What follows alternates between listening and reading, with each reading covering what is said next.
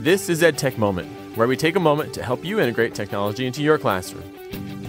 Once again, we're working on our Google Sites, and today I'll show you how to add a customized logo and background graphic to the header of your page. Let's get right into it. Okay, the next thing we want to do is we want to customize our header. Okay, the header is this area up here where we have our site title. So the first thing I'm going to do is I'm going to go ahead and add a logo into the header. I'm going to go into Edit Site Layout and click on Header. Okay. Now under the height, you can see, or here under select logo, I have selected no logo. So I'm going to click custom logo and I'm going to browse to my desktop to uh, find the little logo that I have saved there. It's an EdTech Moment logo and open it. So there's my little logo. I will choose to make the height match the size of the logo and then I'll click OK. And you can see that that logo now has been added in along with my site title which is very cool. So let me click close and now that's been saved. Another setting that really helps to customize your site and give it a very personal feel is to add a background image into your site header.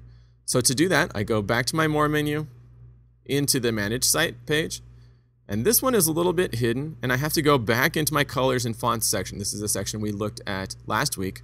And if I scroll down through here, you can see I have a page background, background image, and I want to find the one that says Site Header Background Image.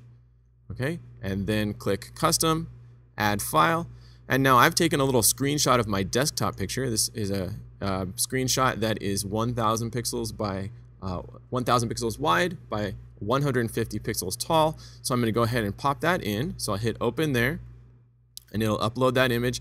You can see here that that image, I get a little preview there. I can choose whether it loops or not. Okay, so whether it uh, so whether it repeats itself.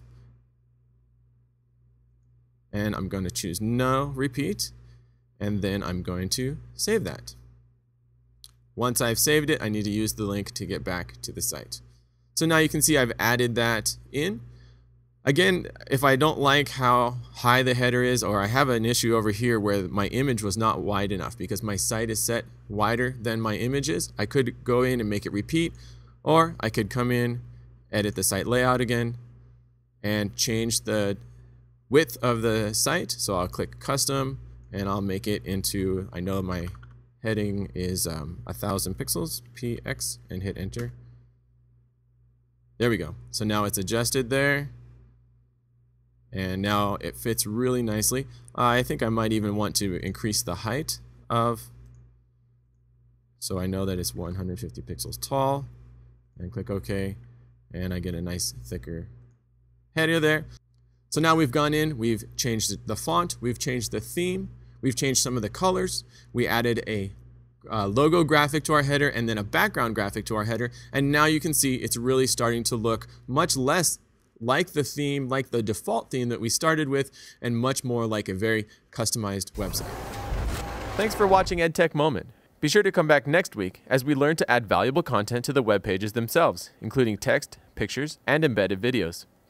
In the meantime, visit edtechmoment.com to find more great EdTech tutorials like this one. And tell a friend that you think might be interested in using these tools as well. EdTech Moment is pleased to announce our continuing deal with Audible.com. Audible.com is your source for over 100,000 downloadable audiobooks. Audiobooks are great to use in the classroom for story time or have kids listen with headphones as they follow along on the page to support literacy skills and comprehension, or even get kids connected to literature before they're even able to read themselves. Use our special link, audibletrial.com slash edtechmoment, to set up your trial account and download your first book free. Audible.com also has the ability to gift books. So if you're still in need of some last minute gifts for the Christmas season, consider giving an audiobook or a subscription from audible.com. Bill and I hope that these videos have added some value to your teaching in your classroom.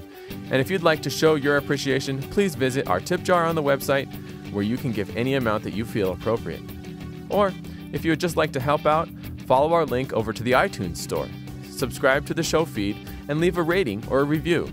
These reviews help us get featured in the store and make it easier for others to find the show as well. You can also tweet questions and comments to us at EdTechMoment or email at feedback at edtechmoment.com. We are always happy to create episodes that answer your specific questions and needs. And of course, thanks for taking just a moment.